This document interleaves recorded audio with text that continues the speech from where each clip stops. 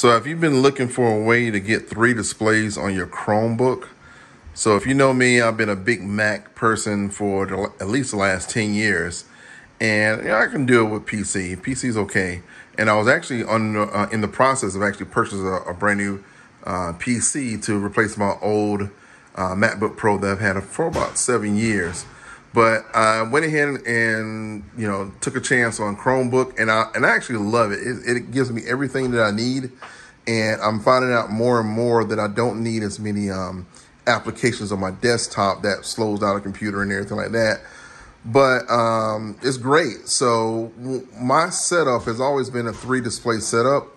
And the thing about it is with three displays, it, it makes it a little bit harder for the Chromebook to be able to process it with a video adapter. So I did get a docking station and I hooked all three of the monitors up and only two would work. So I looked online, I looked online, and I finally found a video uh, that actually explained that you need some kind of a special uh, display type of adapter. Uh, uses USB-C 3, so I'm using USB-C now to power my uh, setup, but you have to use this display adapter in order for you to accomplish what I have. And as you can see, I have uh, two of my ultra wides in portrait mode that's working, and my um, um, Samsung curved display in the middle that's actually accomplishing the landscape um, landscape portion of the setup. And as you can see, everything is working properly. Um, I'll change it to a, my main setup here. I usually run with uh, my boy Mando with uh, the Mandalorian. So this is what it looks like here. I think it's pretty cool and it's actually uh, very useful. I'm, uh, I'm a developer as well.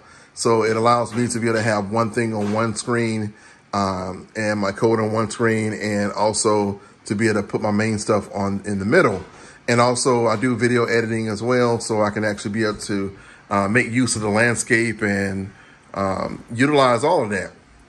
So let me know what you think um, in the comments. If you have any questions, uh, this is the device that I actually got off of Amazon. It really, wasn't that expensive. Well, I got it upside down. Uh, it's called Wavlink. Um, should be pretty easy to find on Amazon.